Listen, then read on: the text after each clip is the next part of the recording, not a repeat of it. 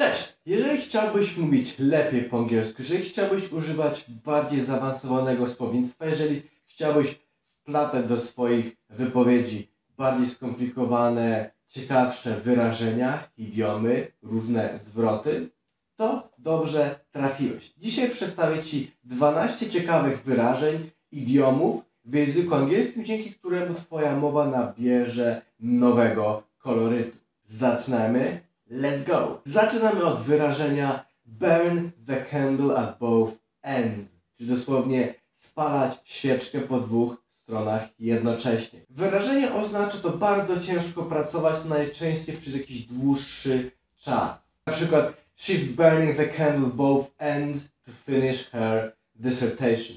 Czyli bardzo ciężko pracuje, żeby skończyć swoją pracę dyplomową. Burn the candle at both ends. Kolejne wyrażenie, bardzo podobne do naszego polskiego wyrażenia, a stones throw away, czyli rzut kamieniem, rzut beretem, bardzo blisko. Na przykład, the beach is a stone's throw away from our hotel, czyli plaża jest bardzo blisko naszego hotelu.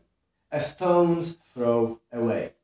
Następnie mamy wyrażenie out of the blue, czyli niespodziewanie, nieoczekiwanie. Na przykład she called me out of the blue to invite me to her wedding, czyli zadzwoniła niespodziewanie, nagle, z nienacka, żeby zaprosić mnie na swój ślub, na swoje wesele. Out of the blue. Następne wyrażenie, bardzo praktyczne, cut to the chase, czyli przejść do sedna sprawy.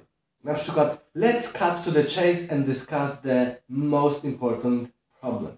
Przejdźmy do sedna sprawy i przedyskutujmy najważniejszy problem. Cut to the chase. Kolejne wyrażenie, moje ulubione z tej dzisiejszej listy to throw caution to the wind, czyli dosłownie wyrzucić ostrożność na wiatr. Czyli po prostu zaryzykować, zignorować ryzyko. Na przykład, sometimes you have to throw caution to the wind to achieve success. Czyli czasami musisz zaryzykować, zignorować ryzyko, żeby osiągnąć sukces. Kolejne wyrażenie, cost a pretty penny, określa coś bardzo drogiego, kosztownego. Na przykład, buying a new car can cost a pretty penny. Czyli kupno nowego samochodu może być kosztowne. Cost a pretty penny. Dalej mamy wyrażenie spitting image, czyli wyglądać identycznie, być jak dwie krople wody.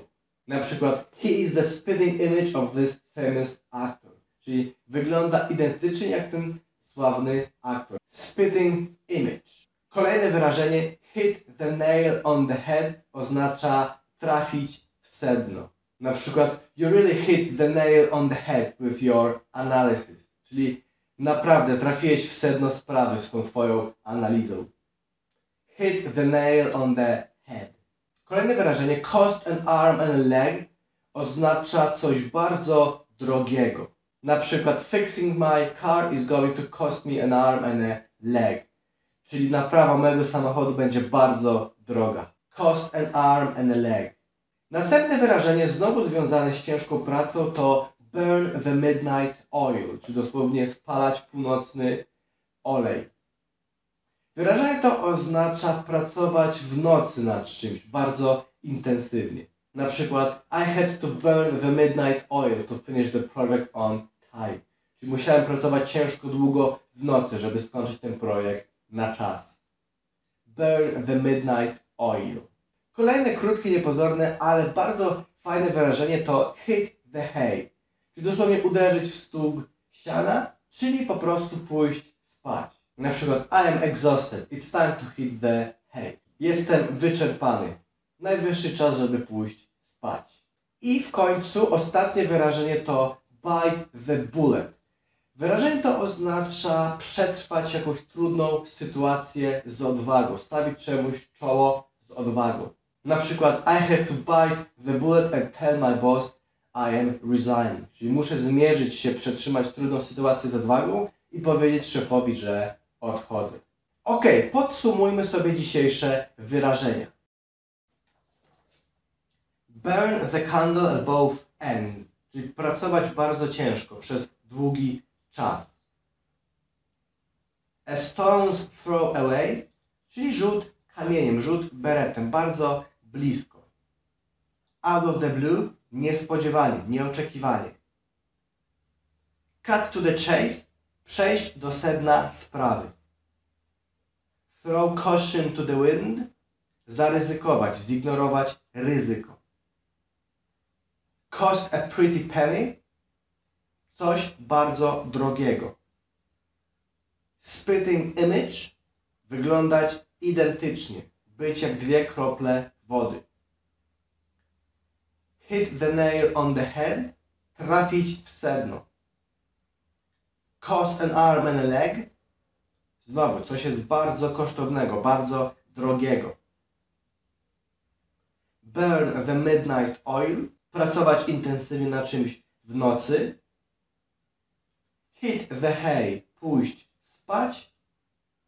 I w końcu bite the bullet, przetrzymać jakąś trudną sytuację z odwagą. Postaraj się zapamiętać jak najwięcej tych wyrażeń. Twoje zadanie dzisiaj to wybrać sobie cztery ulubione i ułożyć z nimi zdania w komentarzu pod tym filmem.